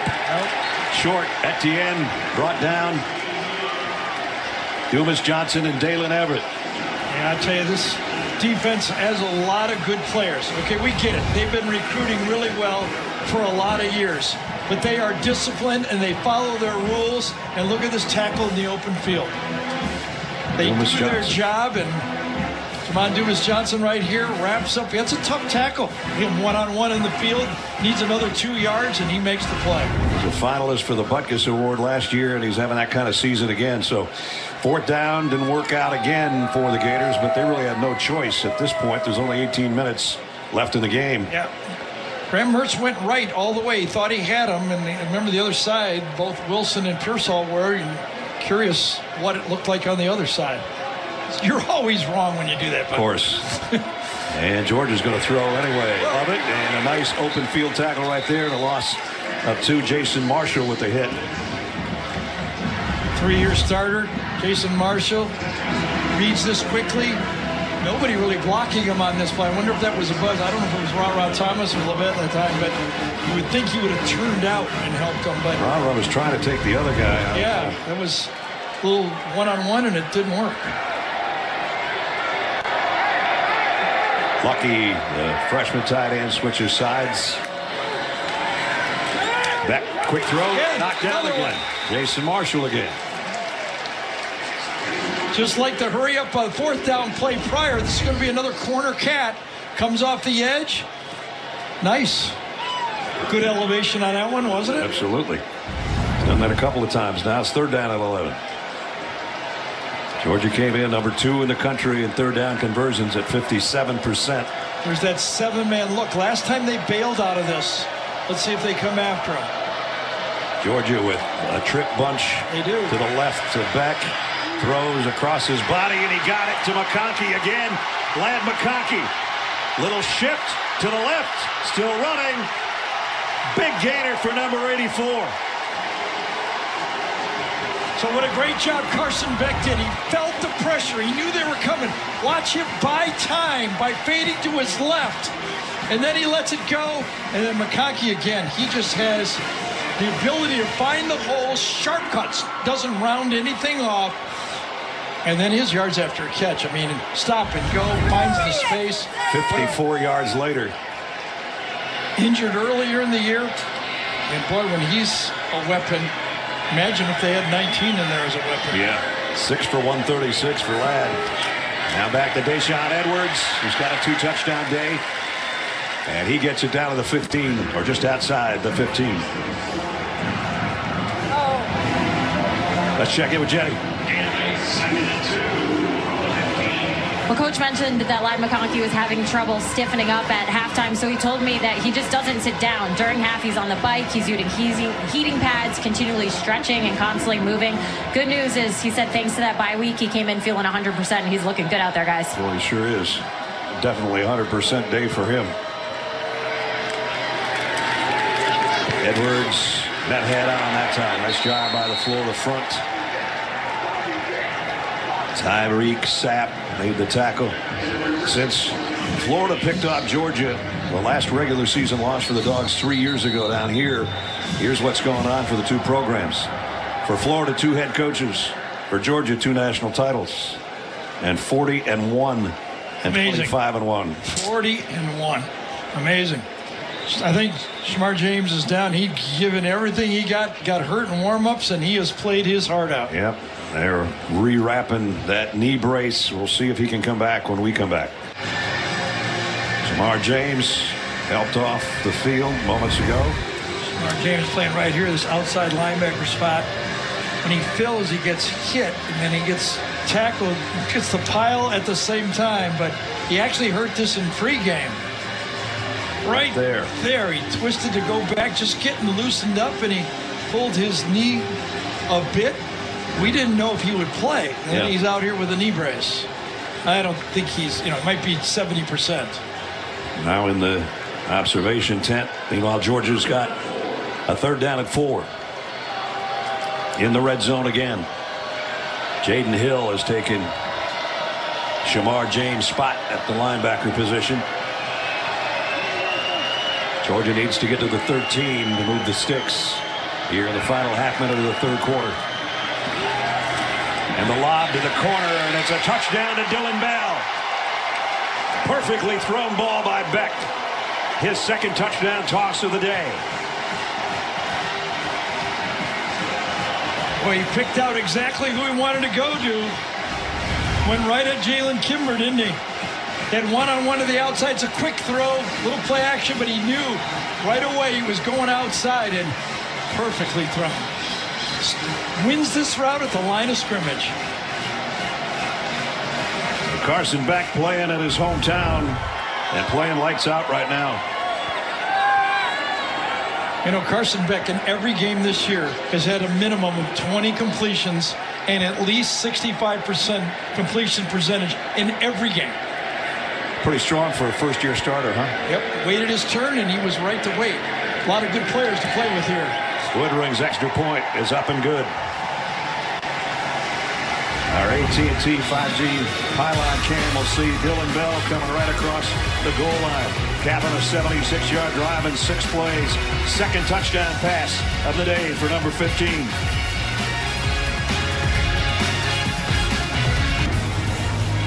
Final seconds here of the third quarter. As the Florida offense was huddled around their head coach, Billy Napier. And meanwhile, on the handshakes are going on on the sideline for Georgia with a 36 to 7 lead. Graham Mertz took Florida right down the field if you just joined us on the opening drive to score a touchdown and that's all they've put up on the board since. Wilson in motion. Yeah, keep it on the ground. Montrell Johnson maybe four yards out of that and that should bring the third quarter to a close. Well, as we said in the open, a lot of memorable plays, but a lot of lopsided games. Yep. Georgia's won five of the last six, and they're 15 minutes away from making it six out of seven. Right now, after giving up a touchdown on the opening drive for the Gators, 36 unanswered points. And Florida second down and seven to open up the fourth. Montrell Johnson blasts his way off the left side. Montrell down the sideline. Biggest gain of the day for him and the Gators. Knocked out of bounds by Kamari Lassiter. You know, the Lassiter was dropping back thinking it was a pass. He was looking to double team Pearsall, and all of a sudden he turns back and sees somebody running with the football, and he comes back and ends up making the play. 48 yards later. Yeah, he's in motion one way, and then he has to come back the other way. So first down at the 24. Pearsall. They're going to try this end around thing again. Trey Wilson. And Wilson outrunning the defensive lineman gets a decent yardage out of it. Actually, Lassiter's doing his job here. He's depending on his front seven to make the running stop. He's going to cover Pearsall down the field. He thinks it's going to be a play, pass play, and all of a sudden, it's not. Georgia only gives up 91 yards a game on the ground. They gave up the biggest chunk of the day to Montrell on that run. And then the end around between Pearsall and Trey Wilson netted them only three more. So second down and seven. At the Dogs 21. Mertz sidearms it out to Johnson again. He got a block. Montrell Johnson's got it down first and goal Gators. Hayden Hansen, good block on that play. Goes out, shoves out the corner, and then Johnson shows his quickness as he catches. Watch Hayden Hansen, and then cuts it just before that pursuit from the inside could come from Dumas Johnson. A 16-yard pass and run. And it's first and goal for the Gators at the Georgia 5. Billy Napier knowing his team's got five wins, got a good schedule in front of him, wants his team, obviously like what Kirby said, finish this fourth quarter. Pearsall in motion to the near side. The toss goes to Johnson the other way. Some congestion over there and a big hit by Malachi Starks. We've not called his name a lot today, have we? Probably is playing as good a safety as anybody in the country. And all we can do is talk about Tykee Smith and Javon Bullard. They got three of them that are playing as safety as well as you can play in the SEC.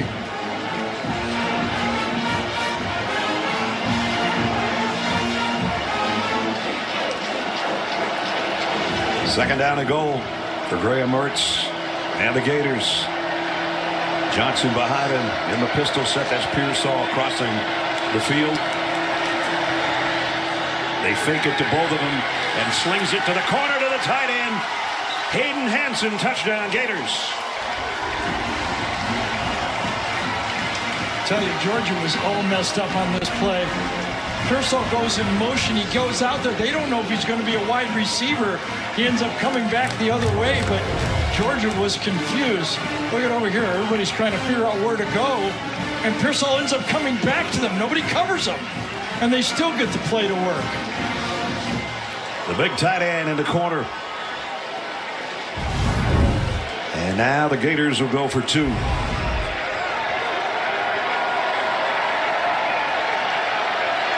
Two for five on the year. Wilson, they fake it to him. Mertz, and it knocked down. No good. Nazir Stackhouse got a big paw on the way. So they cut into the lead, do the Gators. The cap a 75-yard drive in six plays. The tight end from five yards out makes it 36-13. Okay, you know, have haven't beat that big, you know, top 10 matchup, but if you string that many wins together, you could be number one. Jenny at the end of the quarter talk to Kirby Smart. Coach, as a collect group, how do you take advantage of every single threat You got to keep playing. I mean, we're a four-quarter team. We believe we're the best conditioned in the fourth quarter, and the only way to do that is to go play and execute. So we'll do that this quarter. Thank you. Thank you. A little bit of an issue with Jenny's mic, but you get the drift from Kirby. They are well conditioned, and they have proven that week in and week out. And Get the- now it's time to finish things with 12 and a half minutes to go. Get the feeling that last touchdown by Florida keeps Carson Beck in the game, doesn't it? Yep. And Kendall Milton, and he runs out for a first down. Again, that offensive line running to the right side. Florida felt they could handle the tight end. Oscar Delp, number four, gets the block. Handles Umanmielen. Number one on the edge. Gets around to the strong side. If you've been watching number four do his imitation of number 19 today, Brock Bowers, they're virtually the same size. In fact, Oscar Delp might be on an inch taller than Brock Bowers. Rosalie Jack Saint uh, on the quick toss. Jacksaint goes, you know, on this short pass, the lineman's supposed to come up and clean everybody out for him. And there's Brock, and you just saw Oscar Delp. If you really put his jersey on, you wouldn't know the difference, but there's a difference between Brock Bowers and just about anybody else in the country. Well, Oscar Delp will get his opportunity to show Sure. what he can do next year, or maybe in the next three, four, five, six games. We- We'd all like to see Brock Bowers play again this year, but we would understand if he doesn't. Absolutely. He's given everything he could give for the last two and a half years and two national titles and a Mackey Award as a tight end best in the nation. Another good run this time Well- by Kendall Milton. To me, that's the first, uh, you know, Mike Bobo trademark toss right here. That's the staple of the Georgia offense for years. They did it for my formation. It's the first one we've seen so far in this game. Mike Bobo, former Georgia quarterback, longtime assistant. The red hat right next to you.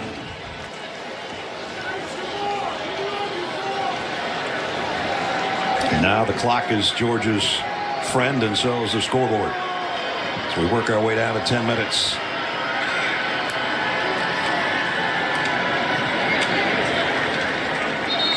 Milton to midfield.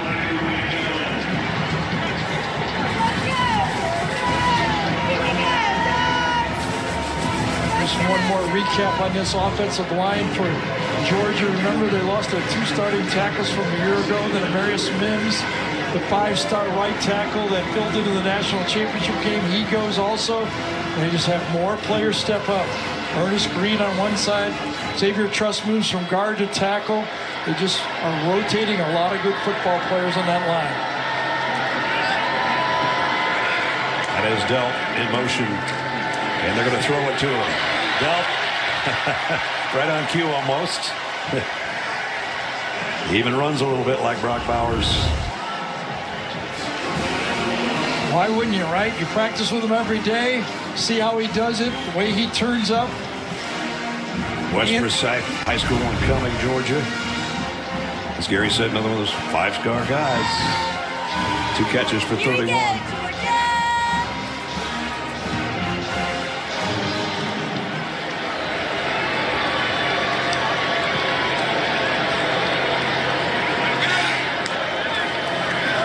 Play fake. Beck loads, fires again. A strike Man, down to the 22-yard line. C.J. Smith this time. Yep, and I tell you, this quick release, we talk about Carson Beck, all the good things he does.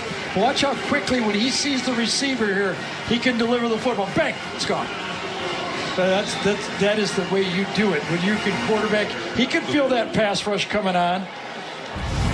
He's over 300 yards now. As I said, it seems like he's got 400 because he's been pretty accurate today. 301 and a couple of touchdowns.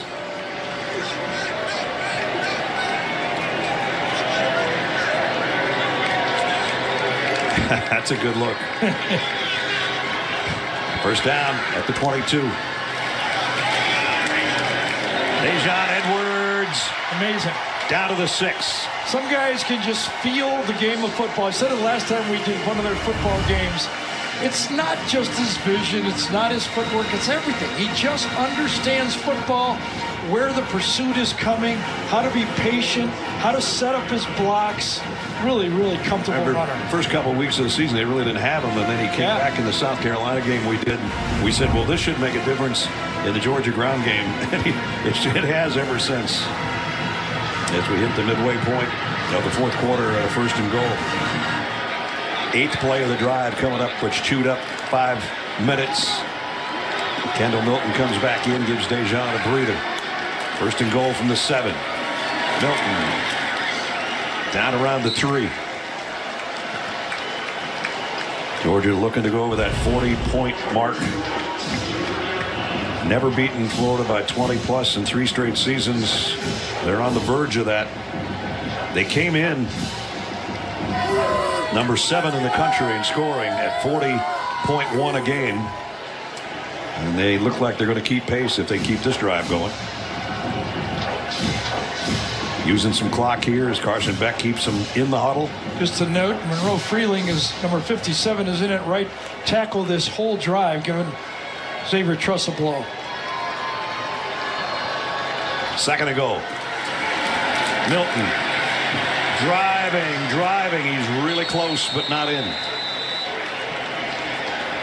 Cam Jackson held on for dear life, all 366 pounds of him, to try to bring Milton down. Cam Jackson was a difference, a major difference in that Tennessee game for this Florida defense. He really handled the center and the two guards for Tennessee very well, slowed that running game down. Hasn't been as effective. We haven't called him that much, but he's up against maybe the best center in the SEC, Yeah. Sedrick Van Pran. Stepped up a little in class Yes. against Van Pran, who's wearing Number 77. today. 77 for Devin Willock, the teammate they lost back in the car crash in January. There he is, the center, and one of the best, as Gary said, right there, third down and goal. Kendall Milton bounces backward in touchdown, Georgia.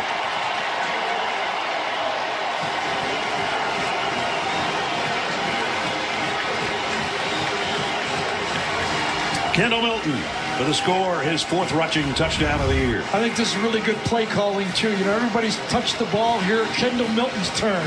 You know, they just kept getting the push. The legs kept going. The whole, offensive line. They didn't. They didn't want stalemates. They kept pushing it right into the end zone for a high five. Well, I don't want I don't want to take too many high No. fives from Mike Bobo. You could break a finger. We're gonna have one more guy on the injury list, the grad assistant sitting next to Mike Bobo. Georgia looking for point number 43. And it's up and perfect.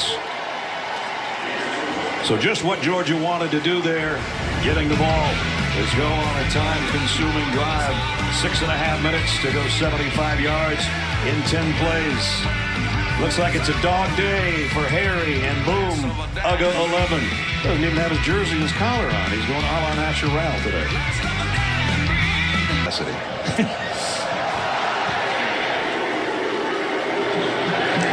And fair catch called for and taken by Wilson. So 5.57 remaining for Graham Mertz and company. Take a look at our four game changer. Yeah, they did it with everybody, didn't in this game. We did it in the open. We go, first of all, will the tight ends come through? They came through. Will Daijun Edwards come through? He came through. and can he find Ladd McConkey when he needs him? Not only did he find him, he produced. Two big ones, Yes. including that touchdown where he put the brakes on and headed back the other way. And of course, it all comes from that offensive line and a, and a quarterback who feels, again, I think he feels like right now, I can throw it to anybody, anytime I want.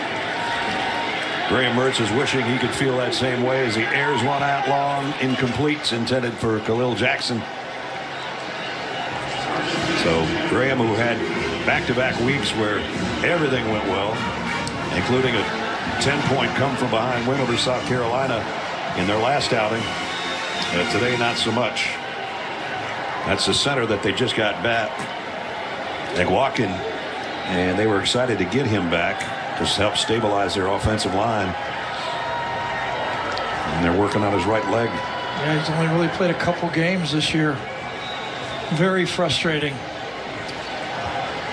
Uh, that's the way you feel if you're a Gator fan right now. He's tapping him on the shoulder. It'll be okay.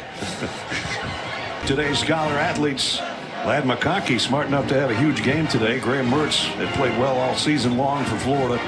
Not quite as good today. Invesco proud to support student athletes on and off the field with a donation to both Georgia and Florida's general scholarship funds. Yeah, this is the part of the game where he's Billy Napier's keeping his starters in the game. You just don't want an injury here. You know, Pearsall, Mertz, Wilson. We've already lost McWackett already, your center. Got to be careful. Here's Wilson. Georgia stretches it out again with that speed. And no gain on the play. As Nyland Green made the stop. It's not like Georgia, you know, we looked at it real quickly. We were talking a little bit more about Georgia at that point, but you know, Florida's schedule in front of them. You know, they're LSU. They, have got Florida State yet. You know, Missouri now. That looked like a game. Oh, big deal, Missouri. But uh, now yeah, at deal. Missouri, you know, that's going to be a tough one. The Gators six and seven the last two years. and they need a couple victories. They got to get bowl eligible yet. Mertz looks right, comes back to the left of a side-on throw to Pearsall. Pearsall, good speed down the sideline and lays a lick at the end of it in front of the Georgia bench at the five-minute mark. Screen is set up both sides. He can go either way. He chooses to go to Pearsall. Good blocking down seal by Trey Wilson that time. Springs and Pearsall finds that space kind of like McConkey, doesn't he? Just yep. knows where to go kind of guys you can depend on as a quarterback without a doubt. Is C.J. Allen's down out there? Yeah. yeah. And he's played quite a bit in the second half. Yes.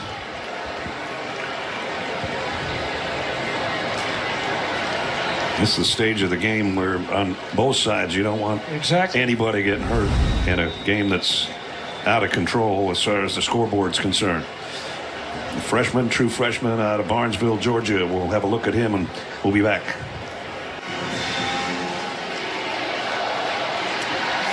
C.J. Allen heading to the tent. Happens, linebacker. Yeah, happens real early in the play right here. Blitz from C.J. from the middle linebacker spot. Kind of gets caught up with Jake Slaughter, the center that's in the game. I don't know if it's a pulled muscle or his left knee, but you felt it real early in the play. Kind of grabbed his left hamstring yeah. area or something. Clock running, four and a half to go. As Treyaun Webb, the true freshman running back, getting some time here.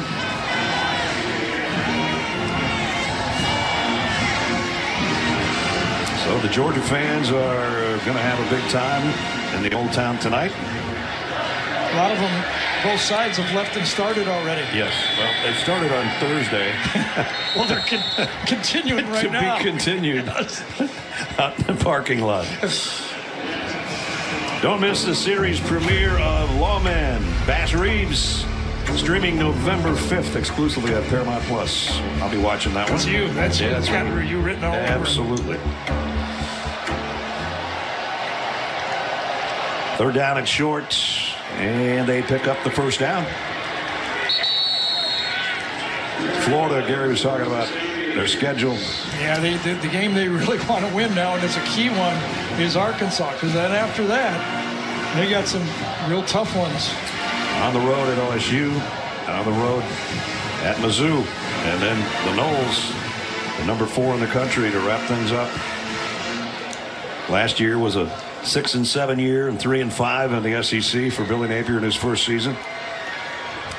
High hopes coming in today with a three and one mark in the East to hope to try to pick off the number one team in the country and move into the driver's seat on the road to Atlanta or the drive to Atlanta. Not going to happen though. As George is up 30 right now with just under three to go.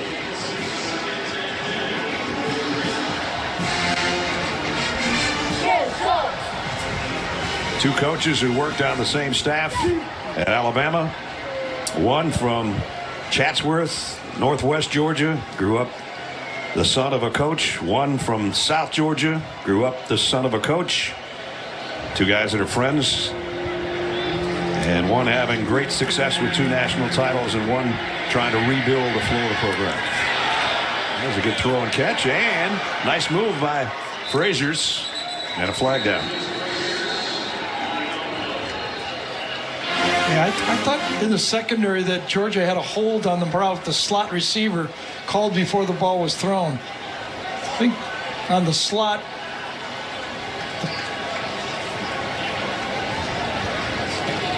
Holding on the defense, number Yeah. eight. That penalty is declined. Result of the play is a first down. A lot of people coaching in this league that passed through Alabama. Yeah, exactly. Here's a couple of them on that team picture. Billy up in the top right, Kirby down lower side, and the Constance, the guy in the middle, who we'll see next week against LSU in Tuscaloosa. Should be a fun one. That LSU offense. Little night game at Bryant Denny next week. Still to come on the U.S. Army postgame show. Adam, Rick, and BJ will put a bow on this one and bring you the day's best highlights, including a Kansas upset of Oklahoma. And uh, the Oregon-Utah game was big. I lost track of how that one is, but I was just about ready to say, put one of my notes towards the end of the game if we had something to talk about is remember Georgia and Oklahoma were scheduled to play each other and by not playing each other they both are undefeated at no, done. that, that's gone. now they'll play each other in years to come. Mertz, nice throw. And Ricky Pearsall cartwheels inside the five, first and goal Gators. David Daniel-Sisavath that time number 14 comes up nice again I see Mertz the ability he has I mean he can just get rip that ball off from a lot of different positions and David Sisavath comes up makes another we've seen some good tackling in this game No doubt. Pearsall gets it to the five yard line. Wilson in motion. They fake it to him. They go straight ahead to the other freshman. And did he get there? they called it in Touchdown. So some of the future of the Gators. This guy in the backfield, Trey Wilson, the wide receiver spot. So do we say with this lead that it's close enough and just say it's a touchdown? Depends on if you got dinner reservations or not. I don't know. Well, I don't, but it still looks. Oh, I don't close either. And it's right on the line.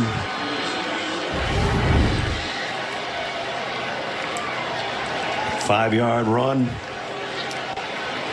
Treyaun Webb, Jacksonville native too. Wow, what a beautiful moon over the St. John's. Can't quite tell if the nose of the football was over when his elbow hit or not. This is probably the best look. I say he broke the plane. I do too. I'd say close enough he broke the plane. I think even the fans that are left going close enough, I think everybody thinks. Close enough. I got a cooler outside.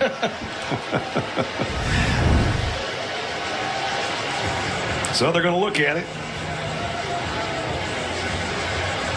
Gene, with this score, would you ever consider close enough?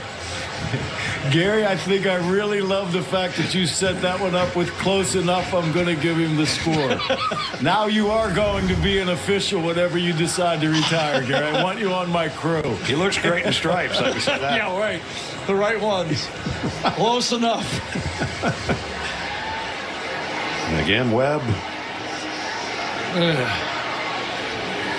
That You know, looks guys, like the front in. nose of the football. The ball's not perpendicular. It's leaning toward the goal line to me. And when the when the backside hits, I think the front nose. I feel like the front nose broke that plane of that goal line. And and in the words of Gary Danielson, close enough, right there. Right there. Yeah, Let's they're give him giving the I like it. I like it. And Georgia's defense might not like it, but I think that should be the call. We'll let our replay official, Stan Murray, tell Matt Loeffler. the stadium is about I was just thinking back back in the day when I had to take care of the kids, and Christy would say, "All right, they can't go outside till they get all their homework done." And I'd have them for about an hour, and I'd go, they'd show them they would have done. I go, "That's close enough. Go ahead, close enough. go out." You got two pages left. Yeah, that's all right. We'll get it. Well, Tran certainly is hoping it's a touchdown. And the review continues. Here we go.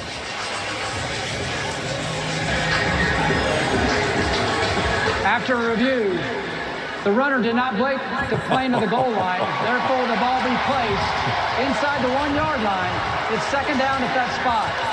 I, I wish people could see the look on your face. I'm just, you know what I was really thinking in my head is, what if he came out and said, close enough? That's what I was thinking. Well, here we go. We got minute 35 to go. It's second down and goal. I hope they give it Yes. Treyaun I Webb, do too. please. Please leave the kid in the game.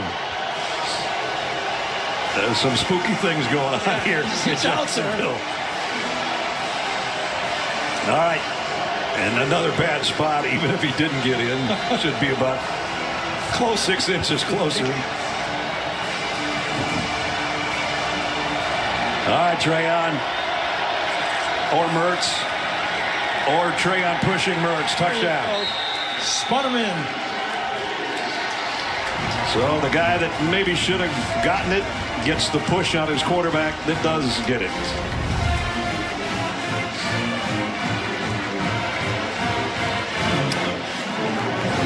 Right now, Billy Napier's going, wish I'd have run that play earlier in the Ooh, game. right? yeah, no kidding. So now we officially have it as a 75-yard drive in 12th place.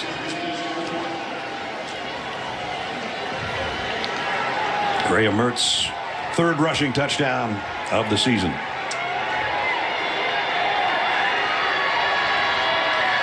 Trey Smack with the extra points. And makes it look more respectable on the scoreboard at 43 to 20. Gators not quitting. Today, Florida had some trick plays that didn't turn out to be treats, and that's kind of how Georgia came from seven down to where we are right now, 43 to 20.